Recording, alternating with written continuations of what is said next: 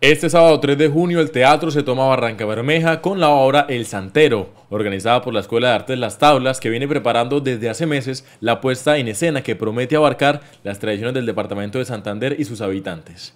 Al respecto habló William Ricardo, codirector de esta obra. En este momento estamos eh, en nuestra octava versión de la temporada dionisiaca de teatro y para nosotros es un placer venir a presentarnos con esta obra El Santero. Sí, es una versión libre, adaptada del libro de Gonzalo España, quien es un autor santanderiano que escribió tradiciones santanderianas de hace 150 años, de hace 100 años, de 200 años, en este libro, El Santero. Y es lo que queremos venir hoy a resaltar de nuestras tradiciones a, las nuevas juventudes, que vengan a, entender realmente de dónde venimos.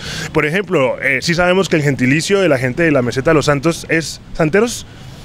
Exacto, ese tipo de cosas son las que vamos a aprender en esta obra que venimos a trabajar con mucho cariño con el grupo base de la Escuela de Artes Las Tablas. La obra cargada con comedia y educación tratará temas de tradición santanderiana desde hace 50 años y la adaptación es de un libro de Gonzalo España, escritor santanderiano. La codirectora y actriz Manuel Fernanda realizó la invitación para que los barranqueños asistan a la actuación este sábado en la Escuela de Artes Las Tablas este sábado a las 7 de la noche en la Escuela de Artes Las Tablas.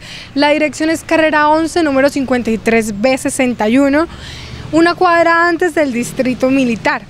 Las boletas son 8 mil pesos una persona y a 15 mil pesos dos personas. Las pueden adquirir en la taquilla del teatro o las pueden adquirir por medio de nuestro Instagram, estamos como arroba artes las tablas o Facebook como Escuela de Artes Las Tablas o nuestro WhatsApp que es 311 872 4240. Están más que invitados a esta comedia que resalta nuestra historia. Así que esperamos, los esperamos allá. Este grupo de teatro viene presentando talleres y fortaleciendo este arte por más de dos décadas en el puerto petrolero.